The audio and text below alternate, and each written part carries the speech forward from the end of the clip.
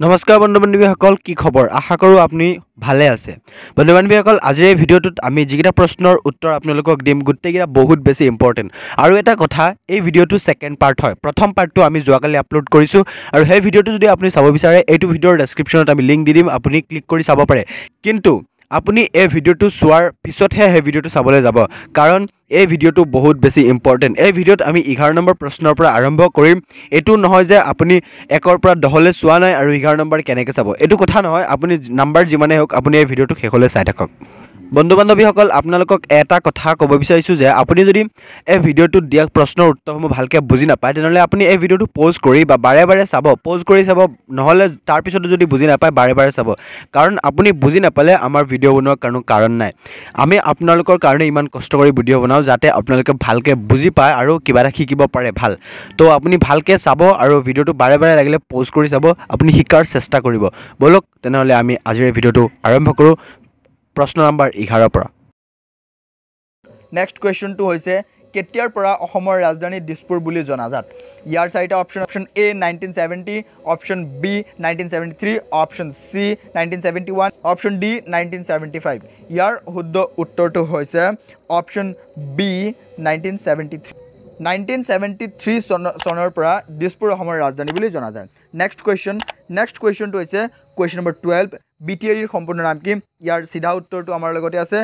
Answer Bodoland territorial area districts B T এৰিৰ সম্পূৰ্ণ নাম হৈছে Bodoland territorial area district next কুৱেশ্যনলৈ আগবাঢ়োঁ।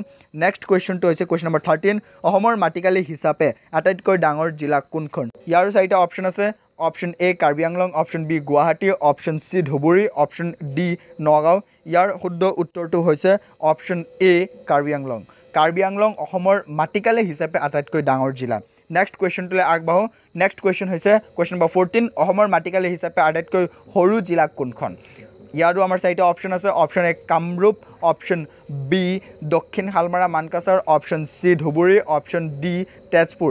ইয়াৰ শুদ্ধ উত্তৰটো হৈছে অপশ্যন বি দক্ষিণ শালমাৰা মানকাছাৰ। দক্ষিণ শালমাৰা মানকাছাৰ অসমৰ মাটিকালি হিচাপে আটাইতকৈ সৰু জিলা। নেক্সট কুৱেশ্যনটোলৈ আগবাঢ়োঁ। নেক্সট কুৱেশ্যন হৈছে কুৱেশ্যন নম্বৰ ফিফটিন অসমৰ জনসংখ্যা সৰ্বাধিক থকা জিলা কোনখন? ইয়াৰ আমাৰ চাৰিটা অপশ্যন আছে। Option A Morigaon option B Nagaon option C Dhubri option D কাম ইয়াৰ শুদ্ধ উত্তৰটো হৈছে অপশ্যন বি নগাঁও। নগাঁও অসমৰ সৰ্বাধিক জনসংখ্যা থকা জিলা। নেক্সট কুৱেশ্যনটোলৈ আগবাঢ়োঁ। কুৱেশ্যন নম্বৰ ছিক্সটিন জনসংখ্যা সৰ্বনিম্ন থকা জিলা কোনখন? সৰ্বনিম্ন জনসংখ্যা থকা অসমৰ জিলা কোনখন? ইয়াৰ চাৰিটা option. Option A Nalbari option B Dima Hasao option C Barpeta option D Kamrup. ইয়াৰ শুদ্ধ উত্তৰটো হৈছে অপশ্যন বি ডিমা হাছাও। ডিমা হাছাও অসমৰ সৰ্বনিম্ন সৰ্বনিম্ন জনসংখ্যা থকা জিলা। নেক্সট কুৱেশ্যনটোলৈ আগবাঢ়োঁ। কুৱেশ্যন নম্বৰ ছেভেণ্টিন উত্তৰ পূৰ্বাঞ্চলৰ প্ৰৱেশদ্বাৰ বুলি কাক বুজোৱা হয়? ইয়াৰ option option A Dhubri option B Guwahati option C Nalbari option D Nagaon. ইয়াৰ শুদ্ধ উত্তৰ হৈছে গুৱাহাটী। গুৱাহাটী উত্তৰ পূৰ্বাঞ্চলৰ প্ৰৱেশ দুৱাৰ বা প্ৰৱেশদ্বাৰ বুলি কোৱা বুলি জনা যায়। নেক্সট প্ৰশ্নটোলৈ আগবাঢ়োঁ। প্ৰশ্ন নম্বৰ ওঠৰ।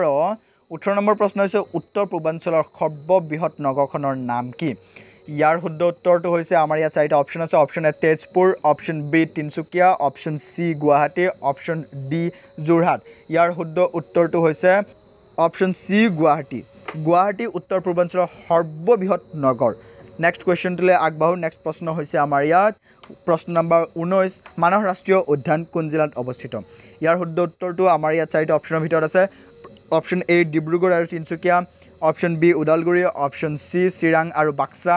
অপশ্যন ডি এটাও নহয়। ইয়াৰ শুদ্ধ উত্তৰটো হৈছে অপশ্যন চি চিৰাং আৰু বাক্সা। চিৰাং আৰু বাক্সা জিলাত মানাহ ৰাষ্ট্ৰীয় উদ্যান অৱস্থিত। নেক্সট প্ৰশ্নটোলৈ আগবাঢ়োঁ। প্ৰশ্ন নম্বৰ বিছ অসমৰ দক্ষিণ সীমাৰে পাৰ হৈ যোৱা অক্ষৰেখাৰ নাম কি? ইয়াৰ শুদ্ধ উত্তৰ জানিবলৈ অপশ্যন চাৰিটা চাব লাগিব। অপশ্যন এ কৰ্কট ক্ৰান্তি। অপশ্যন বি মকৰ ক্ৰান্তি।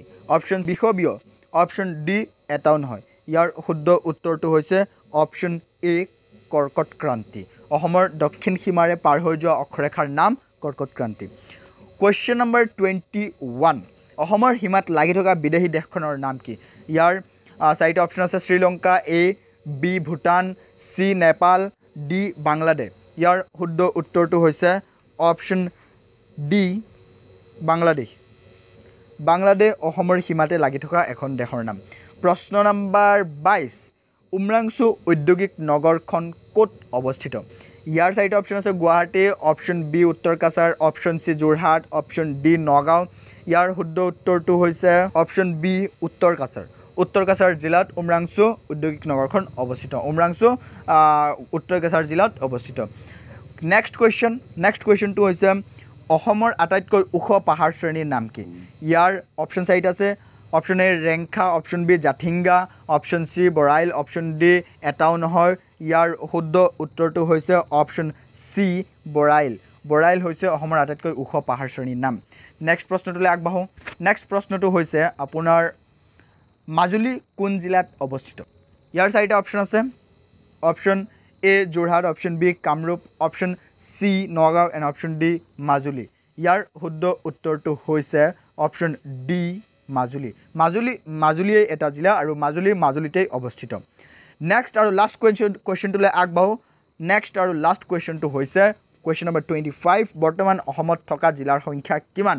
ইয়াত চাৰিটা অপশ্যন আছে option A thirty one option B thirty two option C thirty option D thirty four ইয়াৰ শুদ্ধ উত্তৰটো হৈছে option D thirty four thirty four হৈছে অসমৰ বৰ্তমান জিলাৰ সংখ্যা। গতিকে বন্ধু বান্ধৱীসকল আশা কৰিলোঁ আপুনি ভিডিঅ'টো ভাল পালে। যদি ভিডিঅ'টো ভাল পালে যদি আপুনি নলেজ ল'ব পাৰিলে এই ভিডিঅ'টোৰ যোগেদি তেনেহ'লে এই ভিডিঅ'টো এটা লাইক কৰক। আপোনাৰ মতামত আমাক কমেণ্টত জনাওক। আপুনি কিমান উত্তৰ দিব পাৰিছে আৰু আপোনাক এটা কথা ক'ব বিচাৰোঁ যে আপুনি এই ভিডিঅ'টো আপোনাৰ সকলো বন্ধু বান্ধৱীলৈ শ্বেয়াৰ কৰক যিসকলে অহা অসমত কম্পিটিটিভ এক্সাম বা যিকোনো ধৰণৰ এক্সামত বহিব বিচাৰিছে। অথচ আপুনি শ্বেয়াৰ কৰক যাতে তেওঁলোকে জানিব পাৰে যিকোনো মানুহকে আপুনি শ্বেয়াৰ কৰিব পাৰে তেওঁলোকে যাতে জানিব পাৰে অসমৰ বিষয়ে অসমৰ মাটিকালি অসমৰ জিলাখনৰ জিলাকেইখনৰ বিষয়ে। ধন্যবাদ এই ভিডিঅ'টো চোৱাৰ কাৰণে। শেহলৈকে ভিডিঅ'টো চোৱাৰ কাৰণে আপোনাক বহুত বহুত ধন্যবাদ।